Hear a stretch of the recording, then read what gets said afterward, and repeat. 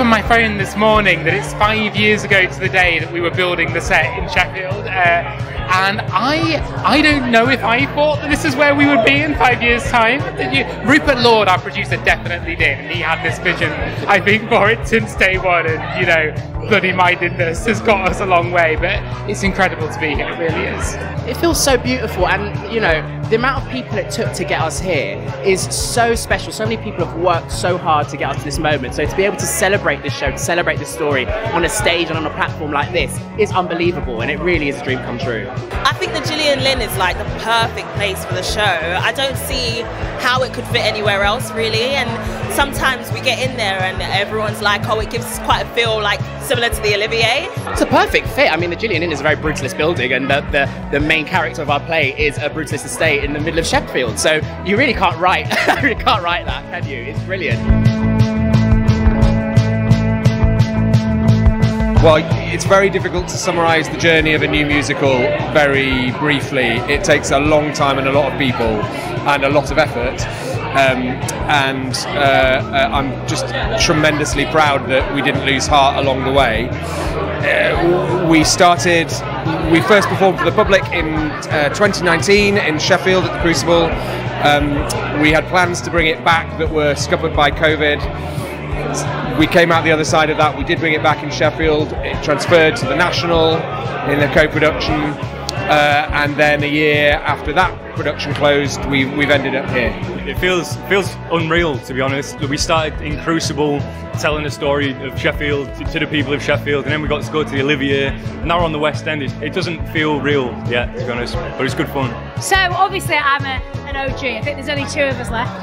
Um, so from the minute I read this script, I was like, I know these people. I know her. I know. I want to tell this story. People that don't, you know, get the opportunity to be seen and heard, and it's really important.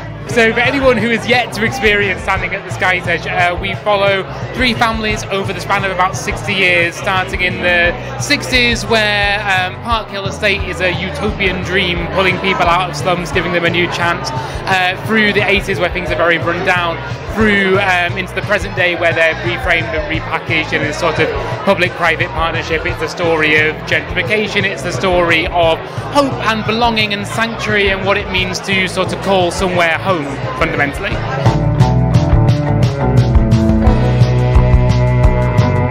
Being a newbie and joining the cast, a, a, very successful cast, and it's been done several times, it feels like the pressure's slightly off because they've done all the hard work in some ways. But um, I mean, it's always nice to be part of a success, but this show has a a very special place in many people's hearts and indeed mine. I mean, I feel like the show has been created by really like people that really care about it, and we've stepped in, but we've wanted to create the same amount of care. So I've taken that seriously. You know, we have a responsibility to continue it, the show being that brilliant.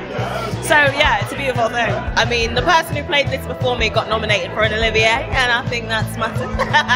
um, but it feels really rewarding because. Um, I feel like roles like this don't come along so often, and so taking on a show that is already so beloved and already so thought of and already so like already touching people's hearts. I mean, it does half the job for me, and I'm like, great, great.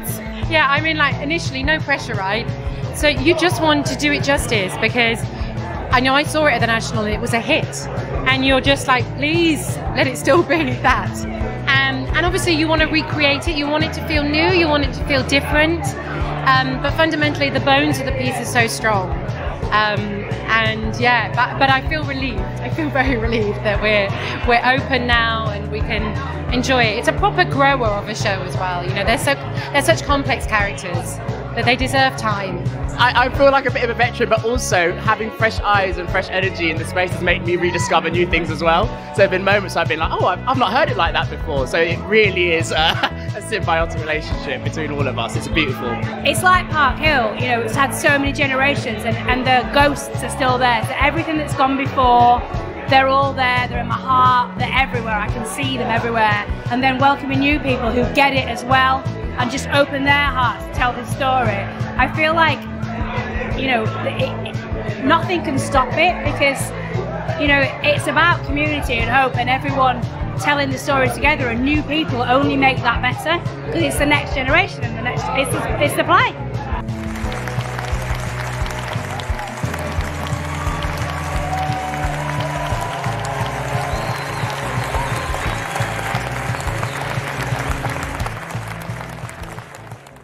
We didn't mention any awards.